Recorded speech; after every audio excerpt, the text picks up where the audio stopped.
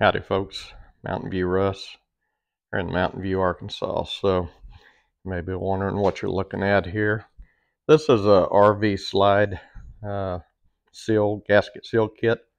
You got the, what would be the wipe that would go on, that would wipe the edge of the slide.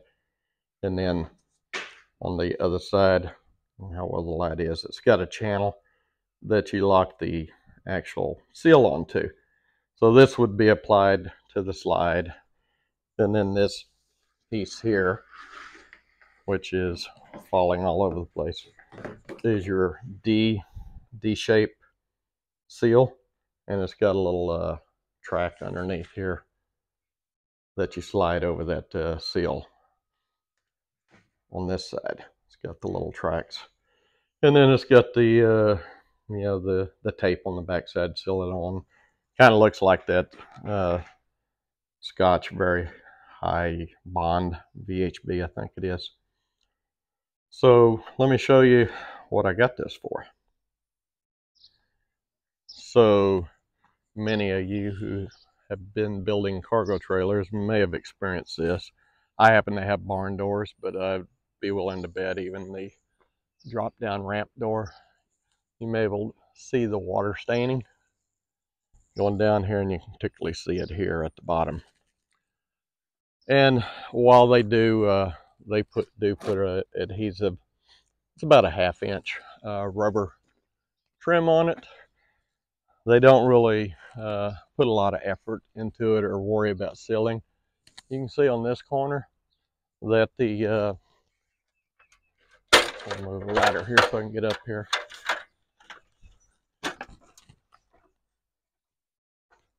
That they cut it off you know, two inches short of the edge.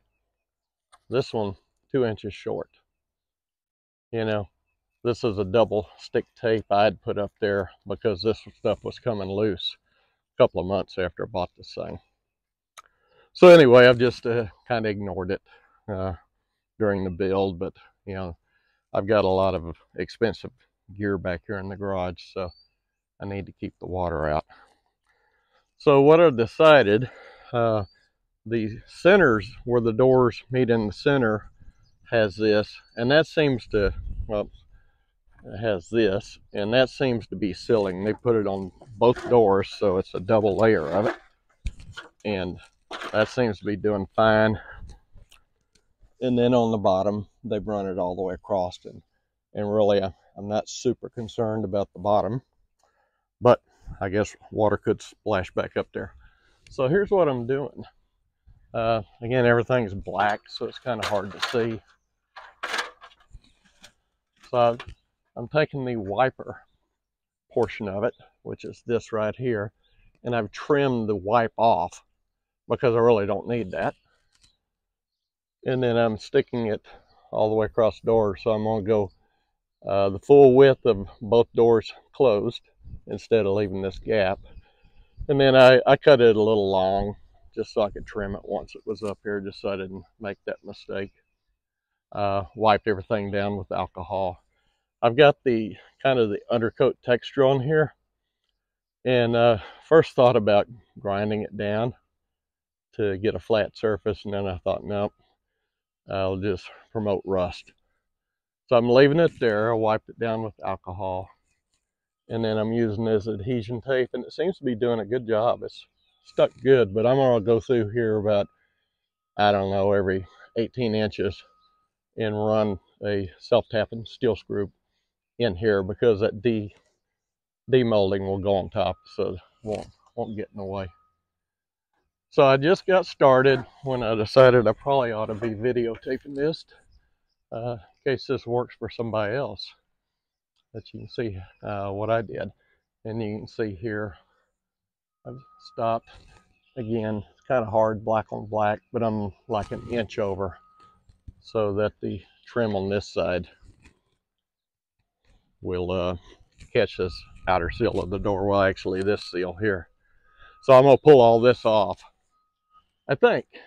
No, I'm gonna pull it off because uh, this gap here, that's gonna create an opening even when it's squished down to the new seal, uh, just a tiny opening and the water's in. So I'm going to take all this off except for the bottom and then the center sections here, which is, is going top to bottom. So I'm going to leave that be. I'll get back with you as I make further progress. So I've got the uh, top seal on and I'll open the doors up in a minute and show you how I did that. But you can see the problem there. You can see the gap. And that was the problem with their original trim. This door is wider, the gap at the top, than it is the bottom. If you come down to the bottom here, it's uh, about a half inch. You can see that. Kind of hard to get lighting right on that. And it goes up to almost an inch here, but I do have a seal Another problem is they, they set the door in place with too much of a gap at the top. On the bottom, it's almost sitting on the floor. Well, the floor that I've added on top, I've doubled up the, the floor size with foam and stuff. So they didn't do a good job of, uh, yeah, and uh, shame on uh, Covered Wagon. If you see this, you might look at that. Or, or if you're having one custom built for any manufacturer, you might just let them know, hey, I'm gonna make this a cargo trailer. Be sure, or a uh, an RV. Be sure you set these doors in to where they seal good. So let me open the doors up and I'll show you some more.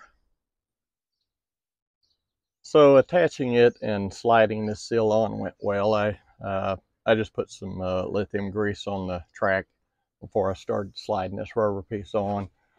And this piece is eight foot long, but I, I got it on by myself just fine. Just had to move back and forth. Anyway, this is what I'm talking about. You can see the edge of the door is only coming halfway up on this seal.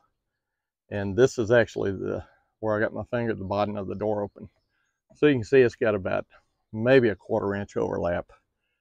Uh, and if you look down there, you can see the, the size of the gap between the bottom of my seal and the top of the door trim. So when I put this uh, track on, which is underneath, you might be able to see it. Uh, you know, I stuck it up with the self-adhesive tape, and then I put uh, three screws in each side, just self-tapping metal screws, just kind of help hold it in place. You know, the doors are going to be closed 90% of the time, so it's not going to go anywhere. One thing I may do to help with that uh, top seal problem is go ahead and get some uh, brand new uh, rubber seal, maybe quarter inch thick. See if I can get some, you know, an, an inch and a half tall, and go ahead and adhere it to this. So when it so when it closes, it would touch uh, further up on this seal. Uh, for now, I just pulled the old trim off and took a wire brush to clean the old glue up and we'll see. I'll get a hard rain here soon, I'm sure, and we'll see if we get any more water through. I wanted to show you another thing about the hinge, uh, which is a big part of the problem. So as I showed you, there's a giant gap at the top, and part of the issue is this hinge. It's kind of hard to tell, probably on video, but it's not seated flat to start with, and then this beam it's mounted to is bent in. So it's keeping this hinge from pulling the door all the way up.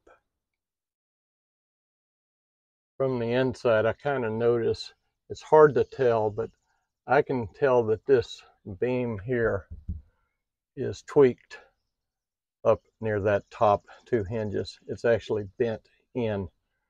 So it's, uh, and probably what happened when they were mounting the door. Somebody was careless and they they tweaked it and pulled it in too hard and just bent that beam. So I think I'm going to try to uh, get something on that beam because it's just a hollow beam. Uh, it's a kind of a C-shaped beam. I'm going to try to get some kind of tool on that and see if I can't tweak it back out square it up. Down here, going to the bottom, it seems to be pretty square. Another thing I may do is uh, is pull these bolts loose from the inside is carriage bolts, and this is a, you know, like a female nut bolt kind of situation. Uh, pull them loose from the at least the top hinge up here. If uh, if tweaking that beam doesn't get it, and maybe pull that hinge loose and make an adapter to go underneath it. You know, maybe a quarter inch thick uh, sheet of aluminum to uh, you know the same uh, outline as that. Put it underneath and then torque it back down. In other words, push the door back in toward the chassis or the body a, a quarter inch. See if that helps. So I tried uh, putting a big pipe wrench on this and trying to tweak this beam here out and get it uh, a little more straight, but it was a no-go. It, it wasn't budging. I didn't want to put a cheater bar on it and risk breaking one of these welds up here. So, uh, you know, I'm just going to go with the thicker seal. Like I said, I'll probably add another seal on the inside of this that actually overlaps maybe a quarter inch comes out. Uh, yeah, I might try to fix this hinge. It seems to be not snug down, but you know, they got these crazy uh, Torx bits, the uh, security bits or, or pattern, whatever you call that. I think I think you can buy these online. I just don't happen to have any. I may order a set and pull those out and see if I can get it to lay down better. I'm not quite sure. Maybe it just needs to snug up some. Maybe that's all it needs.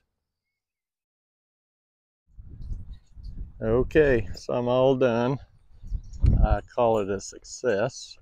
If uh, if you watched the beginning of the video and didn't skip ahead, you would recognize that that big silver gap is no longer there.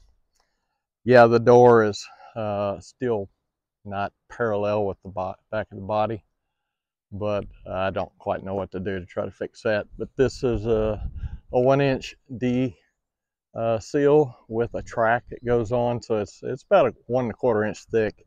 So it can cover that whole gap all the way and it compressed all the way down to the half inch at the bottom. I run a single piece all the way across the top so there wouldn't be a gap. And I went ahead and I don't know if you can see from here, uh, but I, uh, kind of hard to do that. I uh, plugged up the end of each end with some black butyl tape just to keep water from getting in there and staying in there. Uh, the the uh, vertical ones I did not. Uh, I left them down here and open so the water can flow out if it gets in there. I also had to put a little curve on the end. I know you can't see it from here and I'm not getting the ladder out, but I put a little curve on the of the vertical piece so it would kind of uh, overlap. Kind of like you uh, cope a piece of uh, quarter round, you know, in a house. So I kind of coped it to go around that top seal. Uh, you know, there's some gaps. Uh, driving rain, water, a little bit's going to get past that, uh, but nothing like it was. I might even put some Lexel up there if I see water coming through. So anyway, you can't see anything, everything's black.